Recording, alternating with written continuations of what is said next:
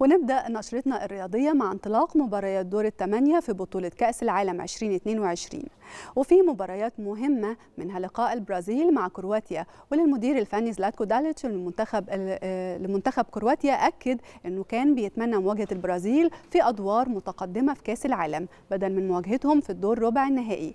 وقال كمان داليتش على هامش المؤتمر الصحفي الخاص بمباراة كرواتيا والبرازيل هنلعب علشان نفوز ونحقق الانتصار.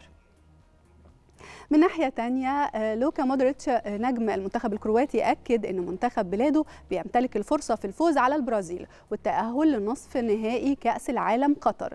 وقال مودريتش على هامش المؤتمر الصحفي هنلعب واحدة من أصعب المباريات في كأس العالم.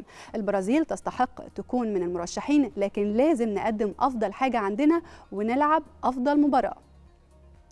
أما بقى تيتي المدير الفني لمنتخب البرازيل قال إن المنتخب الكرواتي عنده الكثير من الثبات والكثير من الجودة لكن عايزين نلعب بأفضل مستوياتنا لأنه الأفضل هو اللي هيفوز.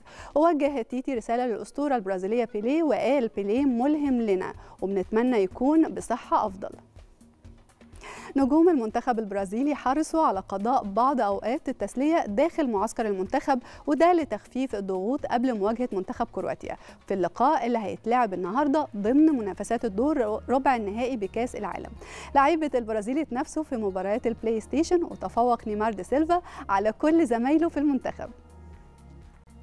ليونيل سكالوني المدير الفني لمنتخب الأرجنتين اتكلم عن المباراة المرتقبة قدام هولندا واللي هتتلعب النهارده على ملعب لوسيل ضمن منافسات دور ربع نهائي ببطولة كأس العالم. وقال سكالوني لازم نكون هاديين قدام هولندا وهنقدم كل حاجة عندنا. في نفس الوقت إحنا متأكدين برضو إن كرة القدم غدارة.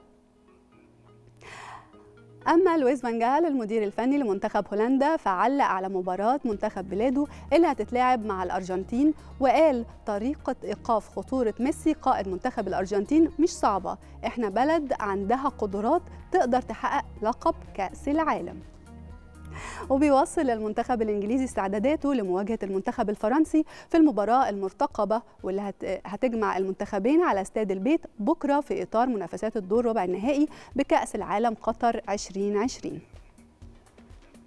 كمان رجع النجم كريستيانو رونالدو لتدريبات المنتخب البرتغالي اللي بيستعد لمواجهة منتخب المغرب ضمن منافسات ربع نهائي بطولة كأس العالم.